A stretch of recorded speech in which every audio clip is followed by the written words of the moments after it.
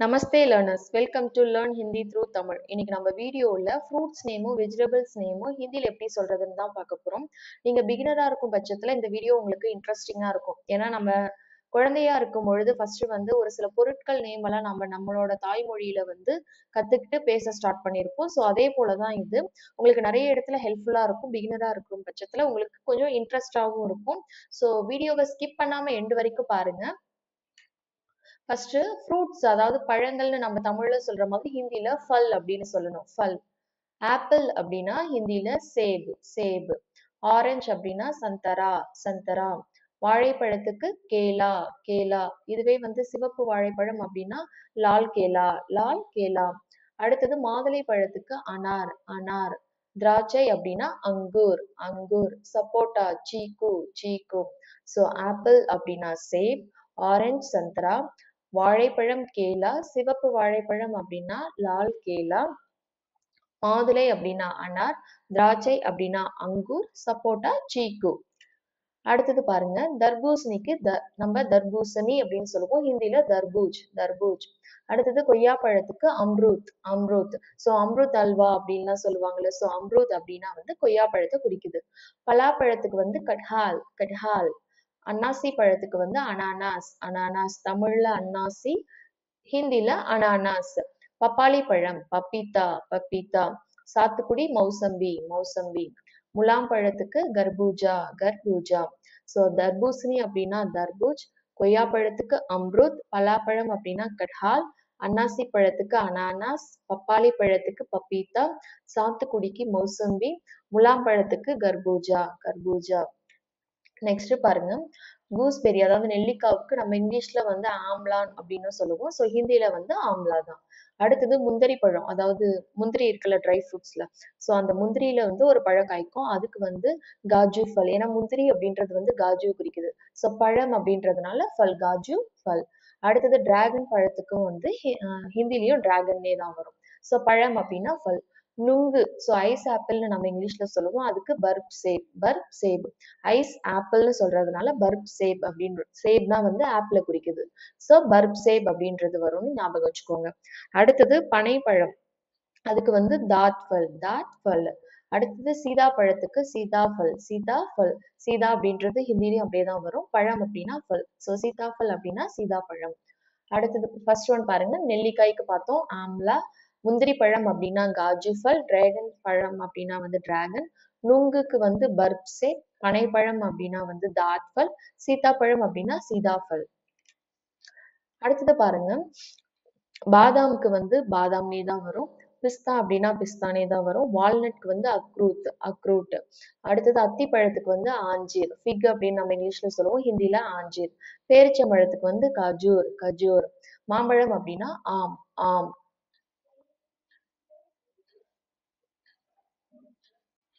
So பாதாம் அப்படின்னா பாதாம்னே தான் பார்த்தோம். பிஸ்தா பிஸ்தா வால்நட்க்கு அக்ரூட் அத்திப்பழம் அப்படின்னா ஆஞ்சீர் அடுத்தது பேரிச்சம்பழம் அப்படின்னா காஜூர் மாம்பழத்துக்கு ஆம்.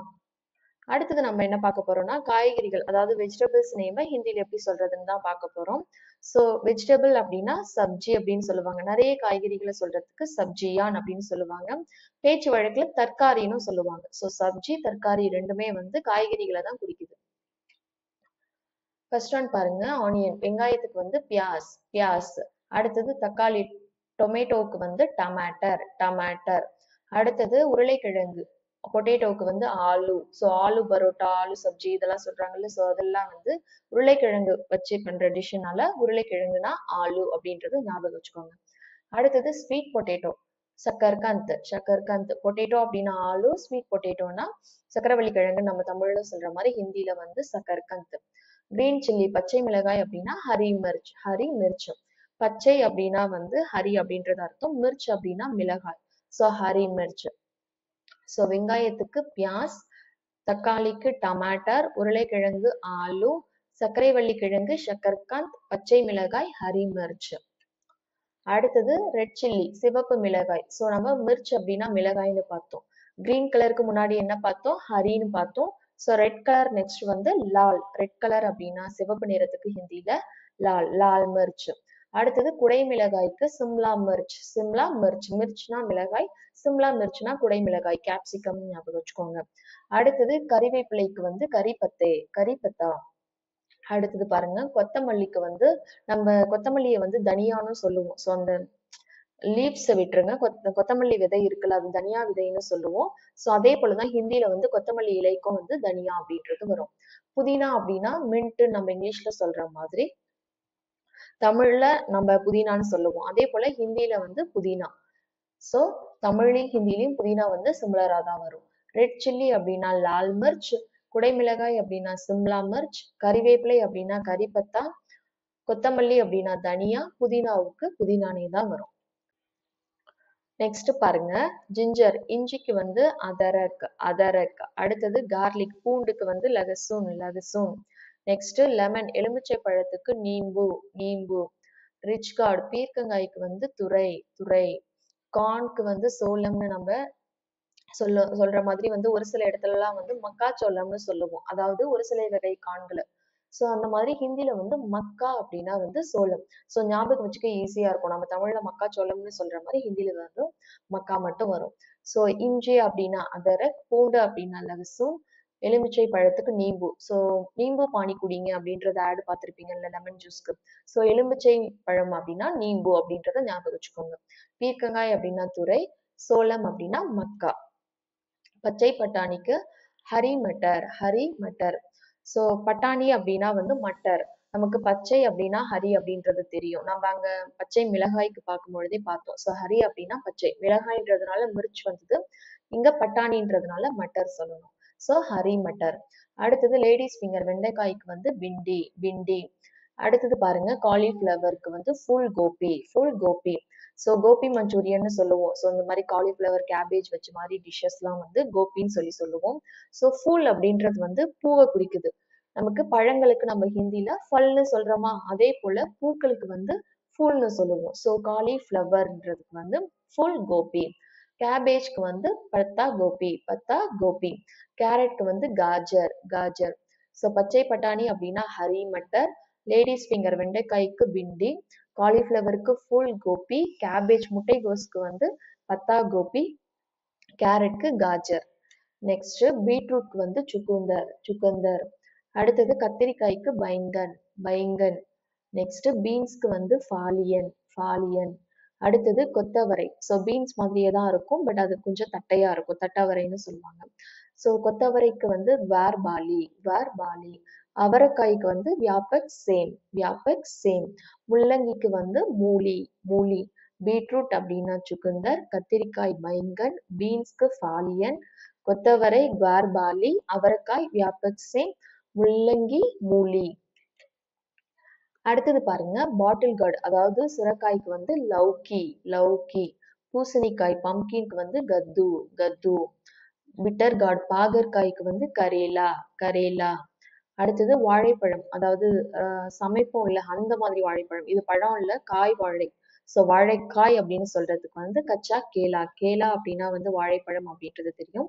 கச்சா அப்படின்னா வந்து அந்த ராவா இருக்கிறது பச்சையா இருக்கிறது. ஸோ கச்சா கேலா அப்படின்னா வந்து வாழைக்காய்.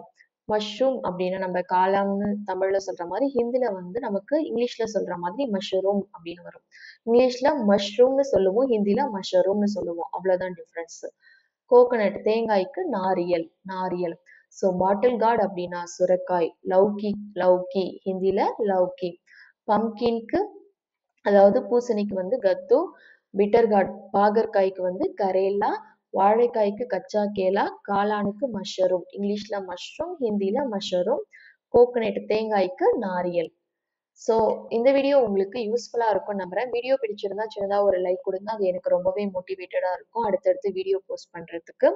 அந்த மாதிரியே உங்களுக்கு இந்த வார்த்தைகள்லாம் உங்களுக்கு வந்து இப்போ வீடியோவில் பார்த்துட்டீங்க. தென் அகைன் ரீகால் பண்றதுக்கு வந்து திரும்ப அகைன் நீங்கள் வந்து வீடியோ வந்து பார்க்கணும்னு அவசியம் இல்லை. நம்மளோட வெப்சைட்ல போயிட்டு இந்த வீடியோக்கான கீழேயே வந்து டவுன்லோட் பண்றதுக்கான ஆப்ஷன்ஸ் இருக்கும். இந்த வீடியோன்னு மட்டும் இல்ல உங்களுக்கு நம்மளோட எந்த வீடியோ பிடிஎஃப் ஃபார்மேட் வேணும்னாலும் நம்மளோட வெப்சைட் லிங்க் நான் டிஸ்கிரிப்ஷன்லயும் ஃபர்ஸ்ட் கமெண்ட்லயே பின் பண்றேன். அங்க போயிட்டு நீங்க டவுன்லோட் பண்ணிக்கலாம். உங்களுக்கு ரீகால் பண்றதுக்கு ரொம்பவே ஹெல்ப்ஃபுல்லா இருக்கும். ப்ரனன்சியேஷன் தெரியலனா வந்து திரும்ப நம்மளோட வீடியோவை பார்த்துட்டு திரும்ப ஒன்ஸ் படிச்சீங்க அப்படின்னா நீங்க ஈஸியாவே ஞாபகம் வச்சுக்கலாம். ரொம்பவே சுலபமா ஹிந்தியில பேசலாம். ஸோ உங்களை மாதிரியே ஹிந்தி லேர்ன் பண்ணுற ஃப்ரெண்ட்ஸ் அண்ட் ஃபேமிலிக்கு நம்ம வீடியோவை ஷேர் பண்ணுங்க. அவங்களுக்கும் யூஸ்ஃபுல்லாக இருக்கும். தேங்க்ஸ் ஃபார் வாட்சிங் தன்யவாத்